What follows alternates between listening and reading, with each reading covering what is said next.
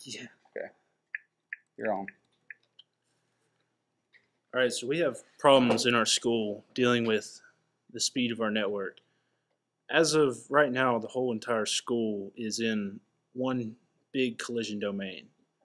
So our project was to design a network that would work more efficiently in our school.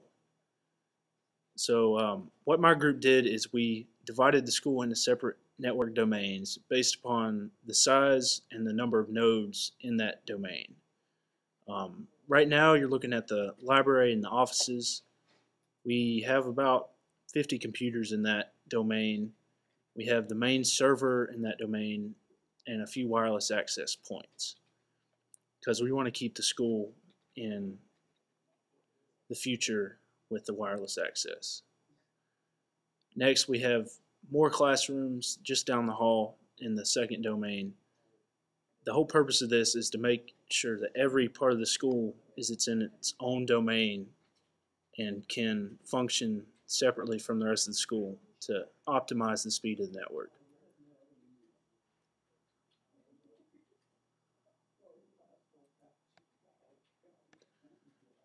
A problem we had when trying to figure out the domains in the school was the distances between the main hubs and the nodes within the domain.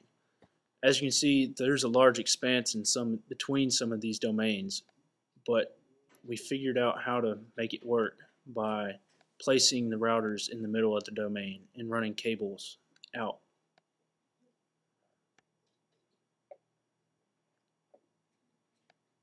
Right here you have the main hall.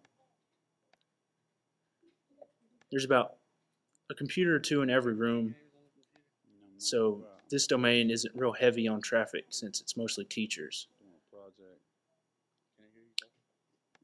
The next domain in green is like the domain in blue. It also mostly teachers, so there isn't a whole lot of heavy use. The domain in orange there, as you see, has a lot of nodes, and these are all three of them classrooms are computer classrooms. There's a lot of heavy traffic within computer classrooms as they're on the internet a lot and transferring files back and forth. So they needed to be in their own domain to minimize traffic throughout the rest of the school. networking two class did this last year. Had to As going along with distances, this wing of the school needed to be in its own domain because it was too far from the rest of the domains in the school. Casey? Huh? You really better get to work. I'm serious.